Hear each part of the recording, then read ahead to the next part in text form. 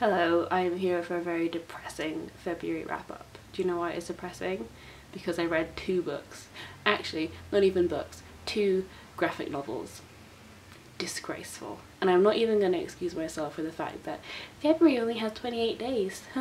no, I was, it was awful. I was awful this month. I need to pick up my game on reading. I'm like seven books behind on my challenge for the year.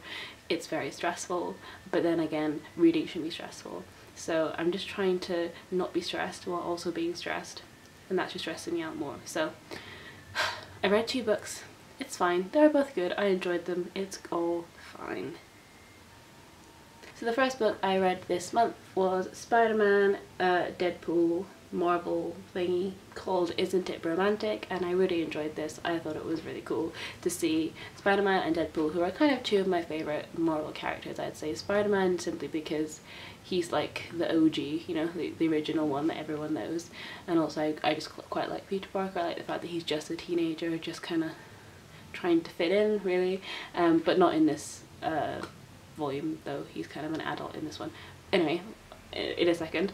And then also Deadpool just because he's funny and that's pretty much it. I just think he's quite cool and yeah. So in this one Spider-Man and Deadpool um, Spider-Man has left the Avengers.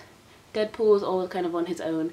And Deadpool in this one doesn't know that Peter Parker is Spider-Man. So he's trying to team up with Spider-Man to kill Peter Parker who's had a tip off that Peter Parker is involved in some shady stuff because he's the CEO of this company but then Spider-Man is like this is so awkward because it's me um, and then it's basically kind of like all the drama that comes after that and the chaos. It reminded me a little bit of like, you know, Shakespeare when they have mistaken identity and all the kind of farce and drama ensues. It was kind of like that but just um, set in superhero world and it was really cool. I really like the art. It's very kind of classic uh, superhero kind of stuff and I don't even know if you can see this. Can you? Yeah. And it's just very bright, very colourful, very action-packed. Everything you expect from a Spider-Man Deadpool comic really. I just really enjoyed it and it was a good way to kill a couple of hours when I was on the plane to Germany.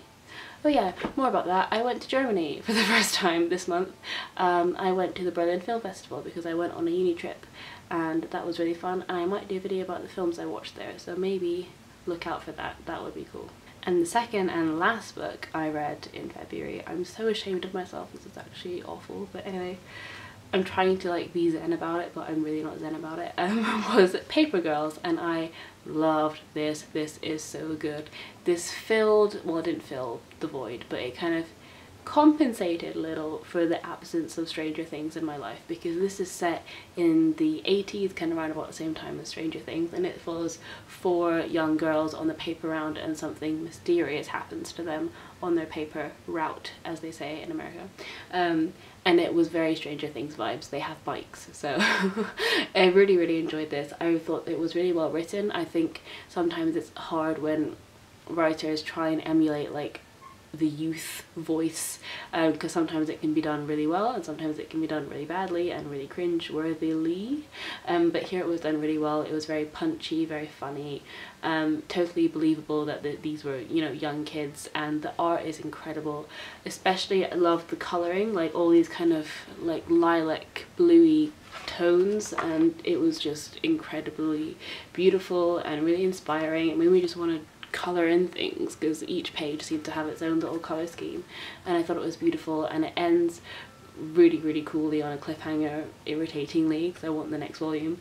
Um, but it was so so good and it kind of plays with the idea of kind of time and technology and I'm really excited for where it's going to go and it's incredible so I really recommend that you pick this up. Also it wouldn't be a me video if I didn't talk about Saga. It's by the writer that writes Saga so that's probably why it's good.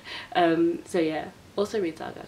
I've, I've been saying this for years now but Saga and, and this please read really really good so yeah so that's the end of my wrap up. This video is probably like two minutes long, but what are you gonna do?